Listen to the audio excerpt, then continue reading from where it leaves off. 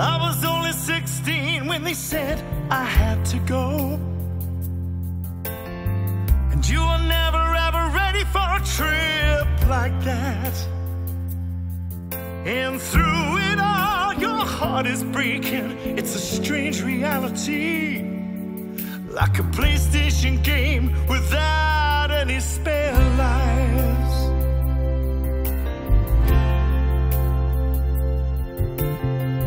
I was sitting on a chair facing the doctor.